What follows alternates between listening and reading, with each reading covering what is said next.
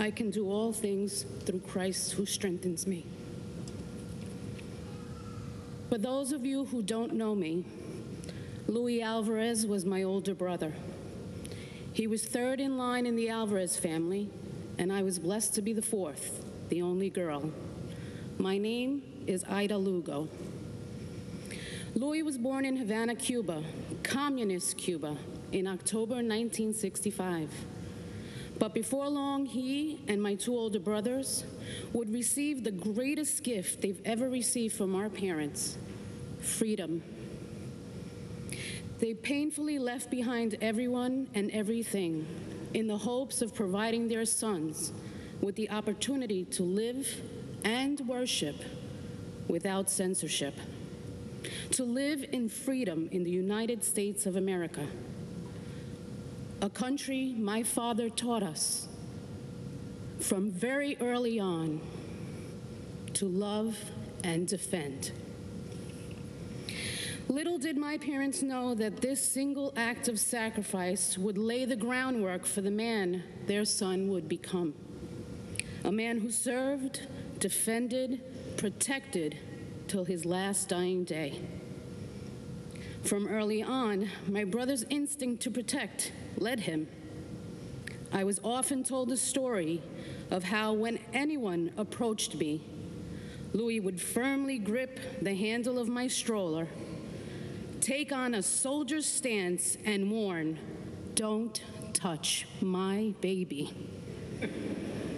He was three and a half. As a teenager, my brother enjoyed a typical life of fun with buddies, sports, first crushes, and first jobs. It was soon after, however, that he began to distinguish himself as someone who marched to the beat of his own drum. After turning 18, my brother came home one day to announce to my parents, without warning, that he had just signed up for the U.S. Marine Corps. Off he went, still wet behind the ears, to serve and defend. The Marine Corps was a good match, a place where honor, courage, and commitment were held in high regard, a place where he knew he could build a better self. His highest call to order was received when Luis became a father for the first time, not without a little fear, and to the best of his ability, Luis raised his son David. Anyone who knows my nephew will know what an amazing job he and David's mom says he did. They raised a son who recognizes the importance of family bond. Luis went on to meet and marry his wife, Lainey, someone who my brother lovingly recognized as a girl who also marched to the beat of her own drum. Together, they proudly welcomed Tyler and Benjamin, sons my brother tried hard to teach the meaning of loyalty, respect, and honor to.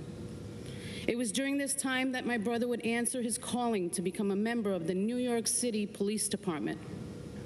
What he didn't know was it was he was about to discover the largest group of people who followed the same beat, his same cadence. A family who worked towards the same level of excellence in serving and protecting. His career started with uniform patrol at his beloved 108th Precinct in Long Island City. He proudly moved on to Queens major case narcotics, bravely taking on undercover work, and then finally onto the bomb squad, where, in his own words, he joined an elite and special breed. It was during his time in narcotics that our nation faced the tragedy of 9 11. While most sat stu- sorry, while most sat stunned and in disbelief, our city's finest, our city's bravest, our brother Luis responded without hesitation. He would recount my desperate phone call to him, begging him not to go down there, to stay away. But go he did, and there he would be for the following three months. Jumping ahead almost 16 years, Luis and our family were served the biggest cross God had ever laid on us Luis' cancer diagnosis. and with constant reminders from my incredibly strong mother. We faced each day in the faith that God never sends a cross too heavy to bear. Luis took on that cross in a way so few do, with a tenacity and resilience that even surprised his oncology team. Nevertheless, chemo became his prison, his jail, often isolating him from the world, too sick to engage in the joys of everyday life. And despite a get out of jail free card often being waved in his face, a whole pass to get out of chemo, he firmly declined it each and every time. Did he do that for the glory and attention? Absolutely not. He was way too humble.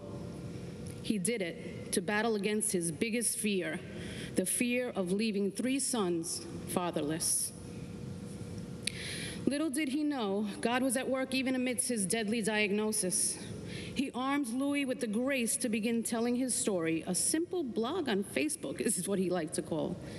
Posts he wrote to urge his coworkers and other responders to become registered with the World Trade Center Victims Compensation Fund to safeguard themselves and their families should they be hit with the same diagnosis.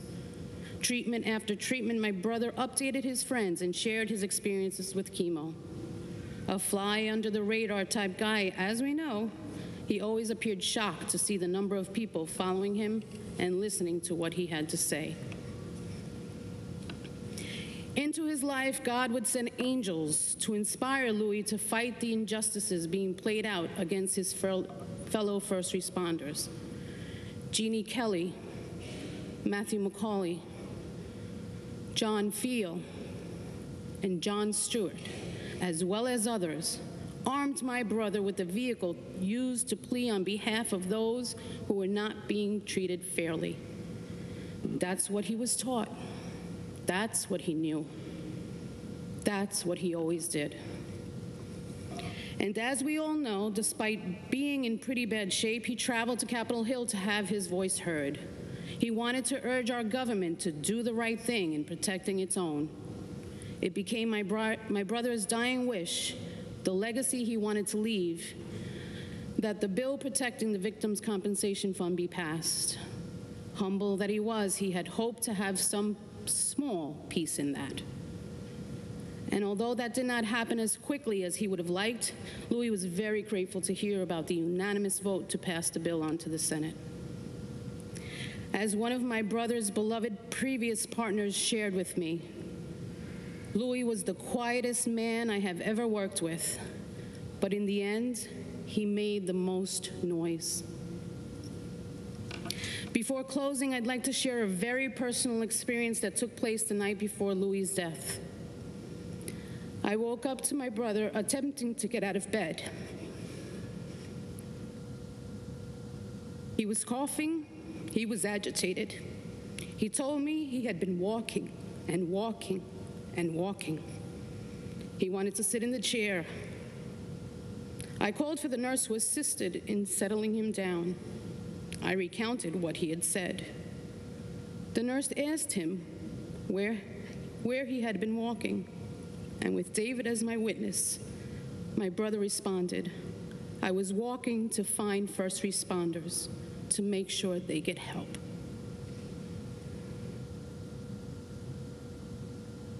How we walk with the broken speaks louder than how we sit with the greatest. To my dear Iris, our family's 1044, our suspicious package.